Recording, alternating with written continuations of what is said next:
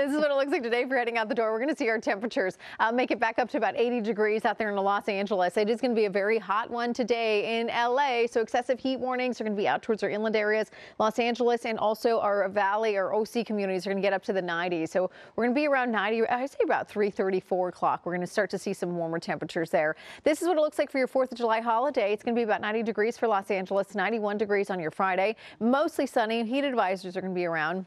And again, we are looking at those heat advisories extending all the way through Sunday. As far as uh, spectating is concerned, I know there's beautiful fireworks display put on by professionals, especially along the coastline, some of our inland areas. For anybody that's heading out to the beaches, of course, that marine layer oftentimes becomes a concern because it makes uh, viewing at least a little bit more limited. So as it going to get very low in years past, we've seen that marine layer get down to the surface. And when those fireworks shoot up into the sky, you just don't see them. Is that going to be the case this year? We do have that marine layer moving inland right around 9 o'clock when those fireworks displays begin.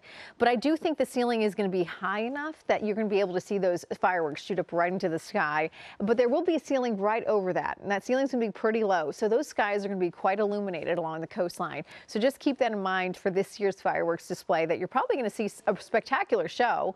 Um, it's going to be a lot brighter because of that ceiling too. All right, here's what it looks like today. Excessive heat warnings are going to be around areas of our deserts, our inland empire, our valley communities. We have heat stretching from Los Angeles all the way down into Orange County out towards Temecula too. It will be very hot. So again, take uh, your time if you're outside. Make sure you take plenty of rest breaks, drink plenty of water, and don't overdo it. We could see heat-related illnesses because of dehydration, but we could also see them because of overheating. And both of those can happen very quickly. And oftentimes uh, we're talking about an emergency situation when you do realize that it's happening to you. And then sometimes that can become life-threatening. So be very cautious. 72 degrees out there in a Victorville, 73 in a Lancaster, 50 57 over in a Frazier Park and 67 out there in Van Nuys. Temperatures in Los Angeles 62 and 64 degrees in Fullerton. Here's that dome of high pressure. It's moving right over the southwest. This dome of high pressure heating us up. Now, whenever it develops, this thing is really hard to get out of here. It's just a very dominating feature in our atmosphere, especially during the summer months.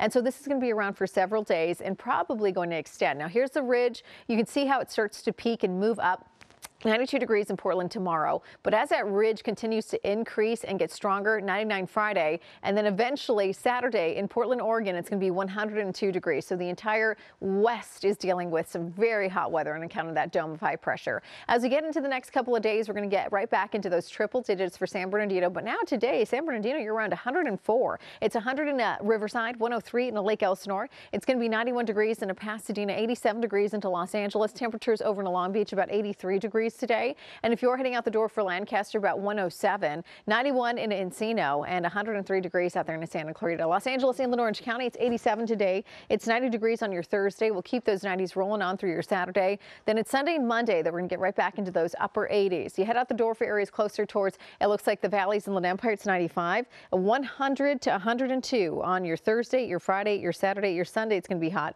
There is a little bit of a range here, just showing you 95 to 108 possible in some of those inland locations. And then over into the beaches, 74 today, 80 on Saturday. And the mountains, we could see some triple digit heat, 92 Saturday. And then the high deserts getting up to 114 by the time we head into Friday, Saturday.